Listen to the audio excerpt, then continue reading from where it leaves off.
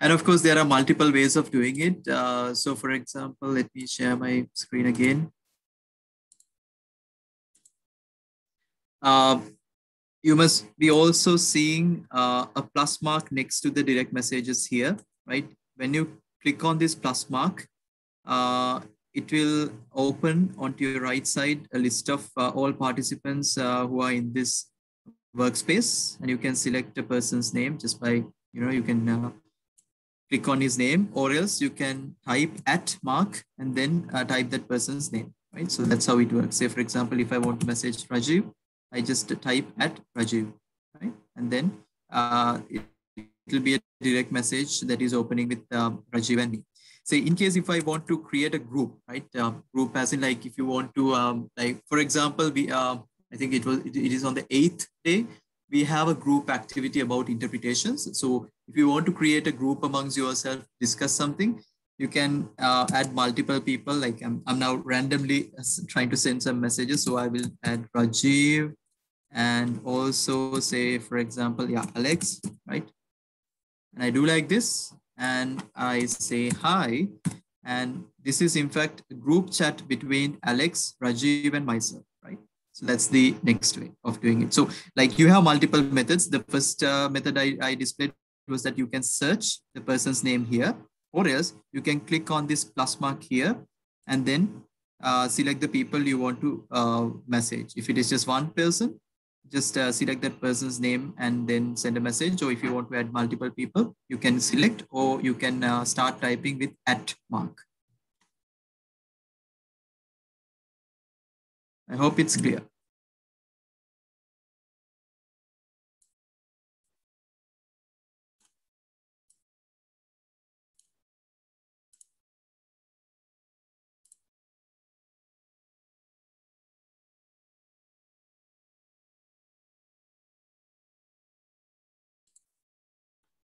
If you all have uh, having no other questions, uh, I think we can start the next session. Yeah, all right. Uh, so Saurabh.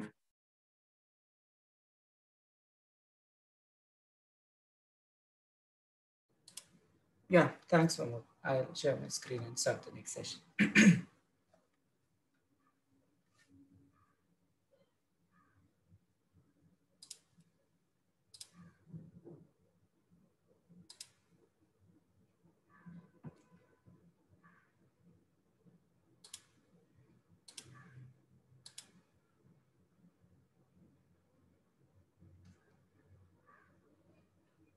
Okay, I hope my screen is visible. So yeah, so um, uh, during uh, past few years, a uh, lot of enhancement is happening in the uh, analytical features available in uh, DHIS2 with each release. So before uh, we start the core applications and the sessions related to that, uh, we thought it's good to kind of take you through to the new features and the enhancements that have happened over time uh, in different versions in DHIS2 and uh, uh, where we stand today with respect to the functionalities available. So that uh, when we discuss these apps broadly, you kind of have a background to these apps and the functionalities which have been developed over the past few uh, releases. So uh, as we all know, most of us know that in DHIS2 there are four core analytical tools used, uh, the dashboards, then we have data visualizer for our charting needs uh, and uh, uh, pivot tables are also now part of the data visualizer app and the maps application. So with each release of DHIS2, there are updates made to these tools. And uh, we, in this presentation, we'll go through the main updates that we've seen lately. So uh, after 2.28 in 2.29, uh, a major revamp happened with uh, uh the DHIS2 dashboards and the uh, analytical applications. Uh, the dashboard uh, stack was totally rewritten to kind of build it on uh, the new React framework uh, and which kind of made it more dynamic in terms of utilization and gave many more options available on the dashboards for the users to configure them in a better manner and make it more presentable to the end users and uh, make it more attractive in a way with different features which have just been evolving uh, from version 2.29 onwards. So with version 2.29, uh, the dashboards allowed um, the uh, custom sizing and location of the dashboard items where uh, we could uh, uh, size the dashboard items based on our need. We could scale them up uh, for full full scale width, or we could uh, make it more concise to kind of fit more objects together. Uh, so that we have a collection of items which could kind of depict a story, depict a picture for the end user to gather as much information as possible. Uh, the maps uh, uh, dashboard items uh, were kind of uh, extended to be shown as in a full screen mode. So there is a full screen option available, the icon which you see here. So the map can be shown on the full screen. Then there were uh, rich text formatting added to the interpretations, the comments and descriptions so that they could be seen on the dashboard at the at the onset itself. On the dashboard page, you could see what interpretation has been added for this particular map, who has created this particular analytical object, and when it, it was created, and uh, when it has been last updated, and how many views have been there, and what was the objective behind creating this respective dashboard item. Uh, from the dashboard itself, you could map, uh, easily move between the different uh, visualizations available in DHIS2. So if I have created a map item here, and that's the default mode of presentation which I have on the dashboard, I could um, use, I can kind of switch the same dashboard item into uh, a chart or a table. So from the dashboard itself, I'm able to change the visualization type and to, to see the same data in a different format based on the layout and the dimensions that I selected while I was creating this map. The same apply to the, the charts and the tables, depending upon the structure which is defined by you. Then there are filters available, which kind of allow you to uh, add different filters based on the periods and your geographic uh, hierarchy, your organization unit hierarchy, and then the dimensions of data which might be applicable uh, to the dashboard which you have created. So you could apply multiple filters on the dashboard and all the corresponding dashboard items will get filtered based on the dimensions that you selected on the top. So for example, if you're talking about uh, seeing the data only for a specific period and a specific district or a province, then you can put those filters here and the entire dashboard will become uh, a dashboard which is filtered to the period that you selected and the province or the district that you selected. Or if you want to see data by uh, different uh, dimensions that we have, say by ownership of the facility, or you want to see by type of the facility, or you, you want to see by uh, the, the residence type, the urban or rural, then wherever these dimensions are applicable to that data, the, the filters that automatically apply on dashboard would convert into kind of a filtered version of the entire stack of data which you populated on the dashboard. Then uh, on the dashboards which you're creating, you can always uh, put a star mark on the dashboards so that your favorite dashboards are always stacked in front of the queue and you can have of course more than one dashboard which is available. But when you star mark a dashboard you kind of mark that dashboard as a favorite. So your favorite dashboards will always be stacked up in the order and your rest of the dashboards can follow thereafter then there were navigation changes which were made so now if you want to further explore this particular map into the Maps app, then you have a separate uh, uh, option to kind of open the visualization item into the core app in which it was constructed. Okay. So since this map was built using or designed using the Maps app, then you have an option to open this particular map into the Maps app to either make an update to the map or add further disaggregations, maybe change the legend uh, uh, things like that. So you can go back, update this and save so that, that your most recent version gets updated on the dashboard. Mm, the most in-demand feature from many of the organizations and the ministries of health which using DHIS2 was to have the ability to print the dashboard uh, into a PDF or, or uh, uh, into a printed version, which could be shared with the users or could be kind of uh, uh, used in a report as uh, annexures or, or things like that. Any external use cases which you had with these dashboard items. So now there are two options available. One is you can either have one item per page, uh, one dashboard item per page in the uh, in the print file that you generate, or you could have the dashboard layout as is. Okay, so a frame of that specific dashboard will become part of the one page of that respective PDF file which gets generated or the printable file which gets generated. So you can take printouts from the, the dashboard uh, directly. So this, this was kind of uh, most uh, requested feature which uh, is available now from version 2.35 onwards. So this is your print preview. So based on the, uh, the way you have designed your dashboard and the right fit of charts on a single uh, print area, you kind of, the system generates a print preview for you from where you can take a print and uh, also download a PDF copy of the dashboard itself into different pages. Uh, the data visualizer is has been around uh, a long time and it has evolved over time. So a new visualizer app was introduced in version 2.31 where the, there was a new interface for selecting chart type dimensions and setting your layouts.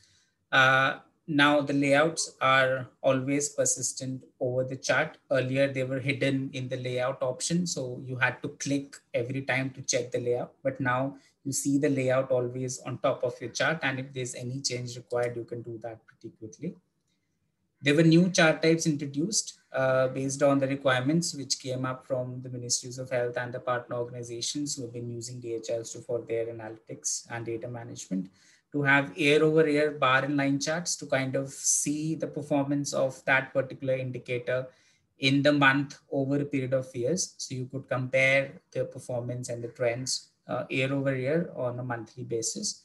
Then there was also requirements to see the single value charts where you could just see the summary of the data both as raw and cumulative forms so that uh, a snapshot could be taken. And this has been extensively utilized for the COVID uh, systems where you just create a grid of data for your uh, all identified positive cases, how many recovered, how many are active cases, how many deaths. So these single value charts kind of gave you a quick snapshot view of the latest data and kind of helped you to, to uh, have a quick summary of data available uh, right at that moment when as you open your dashboard.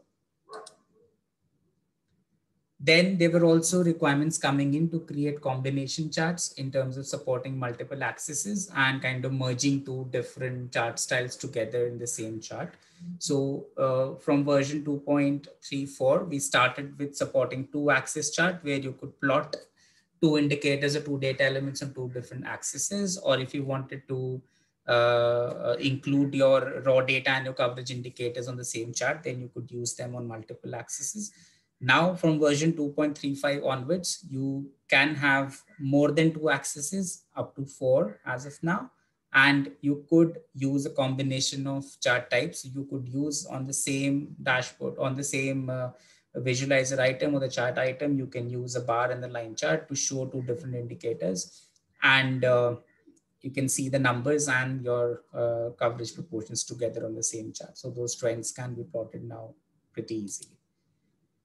Then there were also um, uh, requirements coming in to kind of support multiple categories on the same chart. Uh, earlier, you could either see the month-wise distribution of urban cases or the month-wise distribution of the rural cases. But now on a single bar diagram, you could compile information for uh, multiple categories. So you can group your urban uh, doses given, for example, in urban areas in one slot and your rule areas in the next slot so that you could do a comparison between uh, the different categories in which the data is collected. So now two category charts are supported from version 2.35 onwards, and uh, you can add as max as four accesses to your charts. Uh, gauge charts uh, were available since version 2.31 and 2, but then uh, earlier they were uh, uh, with the same color, but now they are supported by legends and you can add your target and your baseline lines as well. So on a gauge chart, you can put your baseline that this is what is the bare minimum you're looking at, and this is your highest target that you're looking at. So this could help you to see um, uh, what indicators are covering your baseline and what uh, are kind of crossing your target which you've set. Then on single value charts, which kind of came up in version 2.33, they did not had support for adding legends or colors, but now from version 2.34 onwards, they have the option to add colors to them. So they kind of were used uh, uh, extensively for the COVID uh, grading, where we kind of were able to put our positive cases in red, we were able to put our active cases in orange and recoveries in green and deaths in gray so that we could kind of symbolize the, the data with the different uh, legends which are available in the system. Uh, there have been uh, kind of uh, attempts towards making uh, the system guide the user that what could be the potential recommendations with respect to the data elements or the indicators the person has selected. So for example, I've selected data elements or an indicator for BC, uh, BCG coverage. And then the system is kind of recommending through these green dots, which you see that these are the possible recommendations which can be used uh, for further enhancing this respective chart item. So if I selected BCG coverage, then uh, in the background, this is the system understands that for this particular uh, uh, data for BCG doses, we are collecting it by say the type of facility or we're also collecting it by the doses given in urban or rural areas. So it kind of highlights the possible dimensions which could be used by the user to add further disaggregations on top of their data to kind of make your charts more descriptive more elaborative and kind of give you a, a detailed overview of the different uh, disaggregations or dimensions which you can add. So these recommendations come automatically based on uh, linking your data input categorization to the indicator disaggregation which you can add on. Uh, the interpretation panels went under a complete redesign where you could subscribe in the implement interpretations panel. So as we do on different social media platforms, we subscribe to different YouTube channels. And as soon as a new video is posted by the YouTube channel, we get a alert on our mobile phones. Similarly, we have functionalities where if some dashboard items are your uh, from your area of concern and you would like to receive latest updates made to the interpretations, then you could subscribe to these dashboard items. And as soon as any user posts uh, any update to the interpretation, then they're able to get an alert that an interpretation or an update has been posted to their subscribed dashboard items. And then you could also kind of put mentions. You can search for different users, uh, similar to what we do on our social media chats on Facebook and Instagram. And also we saw on Slack that we could mention a particular person and tag our response to that specific person. So kind of building one-on-one communication within the group and kind of building communication around the data through the use of the interpretations panel. So this could be done both on the dashboard on the data visualizer uh, app and also on the dashboard as well. Then another feature which was more, was requested was to kind of uh, have uh, chart color sets. So basically uh, the earlier releases of DHIS2, it had a fixed color palette, which was applied to all the charts.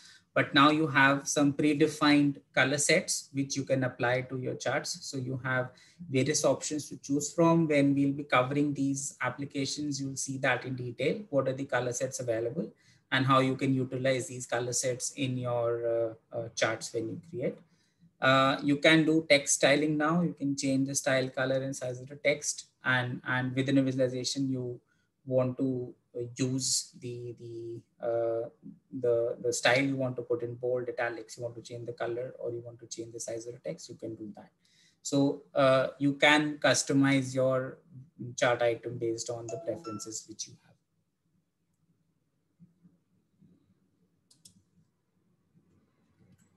Uh, pivot tables earlier were working as a separate app uh, in uh, uh all those releases till date, but uh, towards kind of creating a more integrated experience for the user, all the functionalities of the pivot tables are now being added to the data visualizer app as an additional visualization type.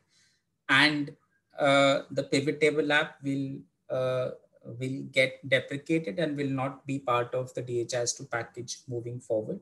So from version 2.37, the pivot table app will no longer be supported and all the functionalities which are available in the pivot table app will be integrated within the data visualizer uh, app and pivot table is now as a, a, a, chart type or a visualization type added in uh, the data visualizer. So in when we cover pivot tables, we will be focusing more on the, the chart type, which is integrated within the data visualizer app and not the native uh, pivot table application, which is available in the system.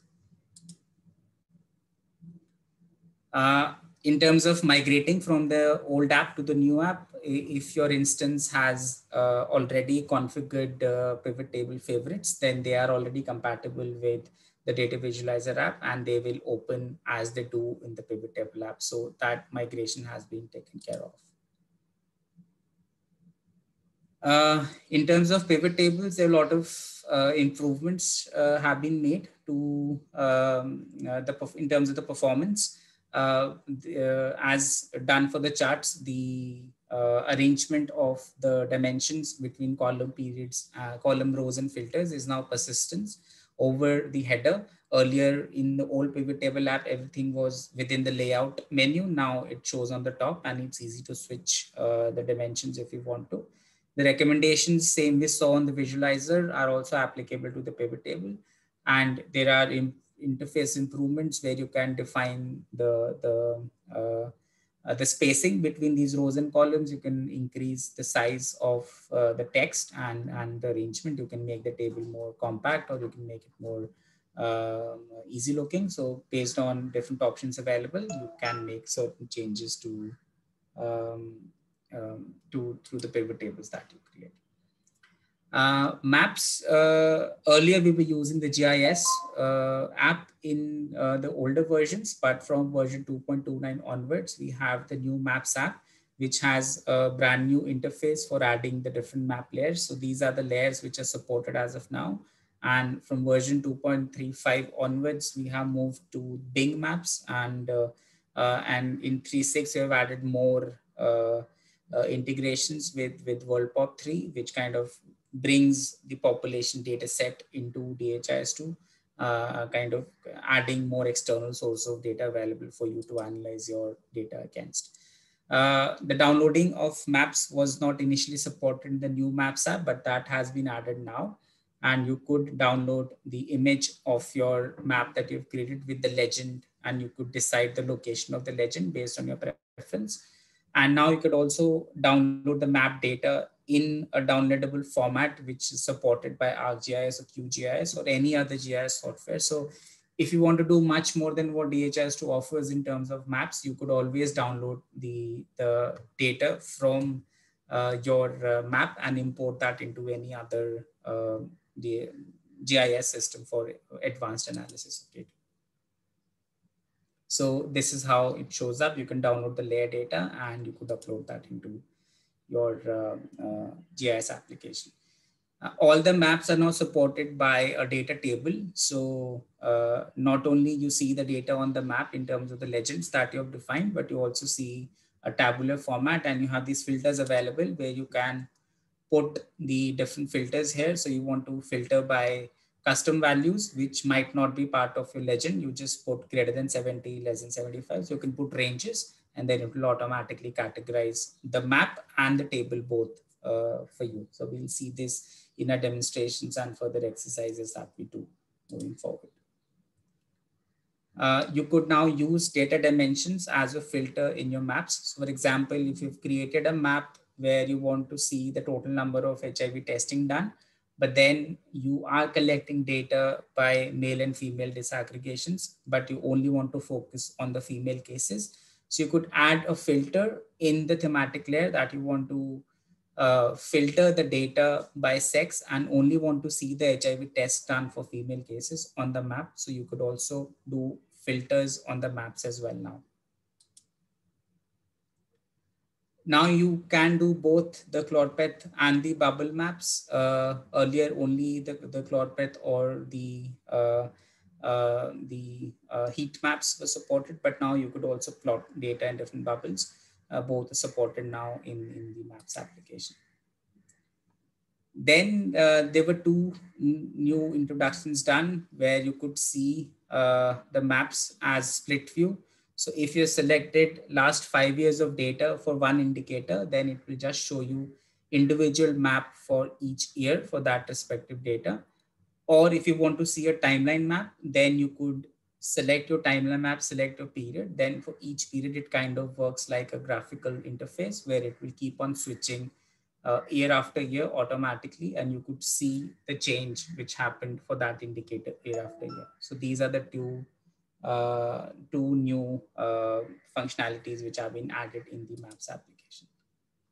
So this was my last slide. Uh, so these are the latest updates which have happened or over the analytics apps. Uh, most of you uh, might be aware of these proceedings. To those who are not aware, so we wanted to give a quick snapshot of what has happened over the last three or four releases on uh, the analytics application. And we will be covering these features in detail through the dedicated sessions that we have for each of the core apps. And we will be, uh, be happy to take questions which you have during those sessions. But if you have some immediate comments and questions, uh, please feel free to ask or you can post them on the Slack channel uh, and we'll be happy to answer them. Thank you.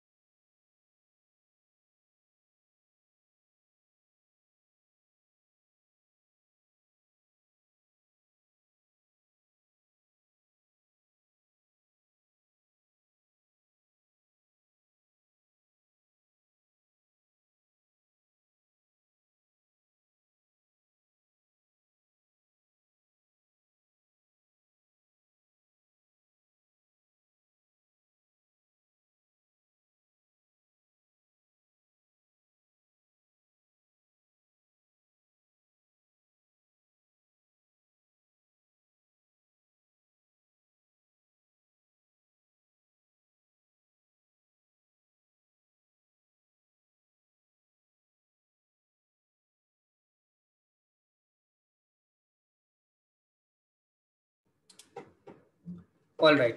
So I think uh, we can take a break now for 10 minutes uh, before we uh, do the last session of the day where Pamod will do a quick demonstration of the key analytic features um, in the application. So the local time is 317. Uh, let's come back at 3.30 and uh, that would be our last session for the day and uh, we could close the day for today and the Slack channel will remain open for you. Uh, any comments, any suggestions, please uh, put so. And uh, yeah, that, that's it. Uh, so let's regroup at 3.30 and then uh, Pamod will take you through the last session. Thank you.